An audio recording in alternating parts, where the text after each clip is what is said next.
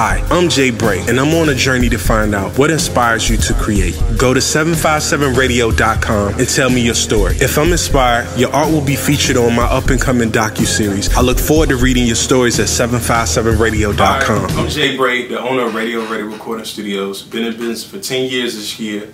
Uh, and to give back to the community, I decided to give away some free studio time. So what I did on the social networks is I, I, put together an animation and pretty much said what inspires you to create. And if you write a letter, you go to my website, 757radio.com, and tell me what inspires you to create. If I'm inspired, you can come into the studio with me for free and record a song. Um, so this week, I read a lot of letters, but I was mainly inspired by uh, Jay Easy. And uh, so what I did was I called him and he didn't know I was recording, and I recorded a whole conversation, you know, on video. But uh, the guy named Los that works here, he deleted it by accident, but he still deleted it. So we don't have that. So I saved some of the audio, and I don't have the video, but I have some of the audio, so I want to share it with you. But before I do, I want to read you what he wrote. What inspires me to create our emotions. Just being able to connect with other people and feel what they're going through.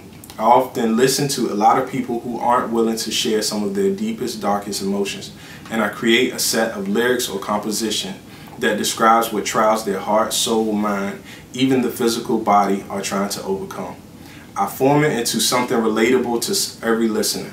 Believe it or not, there are a lot of people who won't say how they're feeling, but will hop in a car and you'll catch them with a different emotion just by a simple song. See, it's the emotion that draws out the real people the real in people. And that's what inspires me to create. We are inspired by the mind as the body follows, grasping peace through the serenity of our heart. Jay Easy. I like that quote. So what I want to do is I want to share uh, a part of the phone conversation uh, that me and him had that I, I was able to hold on to the audio, but I lost the video because of Los. But anyway, I still forgive him. Um, so here's the audio. When I first, when I did my battle, when I first did my first battle, mm-hmm. I did my first battle. When I got on stage, it was just like, what the hell am I doing here? you know what I'm saying? It was like, what the hell am I doing here on this stage in front of all these people? And I'm about to really do something. You know what I'm saying? I had goosebumps to the point where like, I'm about to forget everything I did or everything I prepared for. And you know, when I got on the stage and I spit my first bars, it was like, okay, this kid might be something.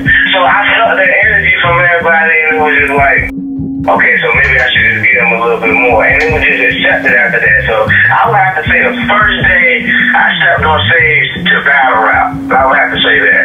That would have to be the one. Yeah, it sure took you a second to get that out. But yeah, man, I can totally relate to that. I had a situation like that happen one time, and it was this real big beatbox competition. Man. I remember like it was yesterday. This dude had this real cool beatbox system and stuff, man. The crowd was going crazy. Like, had fireworks coming out of his speakers. I don't even know if his speakers work. I don't even think he can do that. I ain't had no fireworks. So when it got down to my turn, man, I just played the beat and started doing the robot. It was just like that part off of Juice, man. It went crazy. It was screaming my name, man.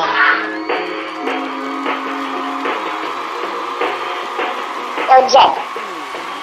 Am I lying? It was just like that part off of Juice.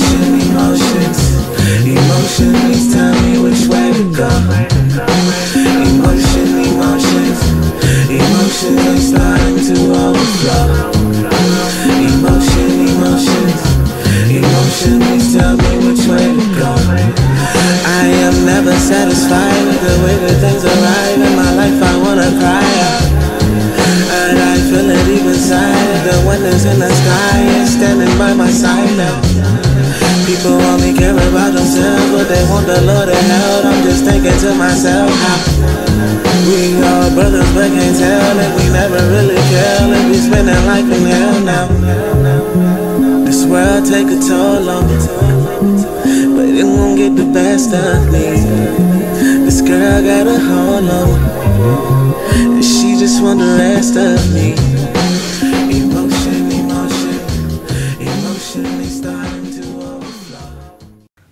Messed up, man. Jumped the gun. Saw Jay Easy. Saw the environment. Got excited. I was like, "Hey Jay!" Never mind. Never mind. Never mind. Started filming.